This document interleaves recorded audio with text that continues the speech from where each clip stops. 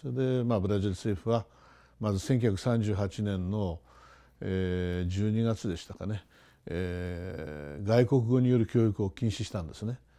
でそれはドイツ語と日本語とイタリア語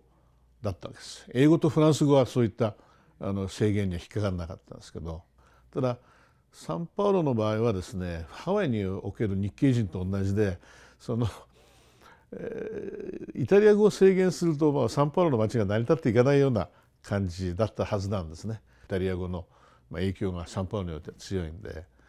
えー、そうするとまあイタリアはまあ戦争が始まってもすぐ降伏してしまったりですね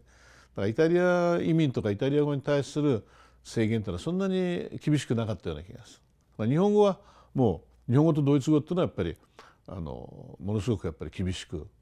制限されてですね、まあ、戦時中なんていうのは日本語3人で日本語喋ってるとなんか逮捕されるとかですねいうようなこともあった。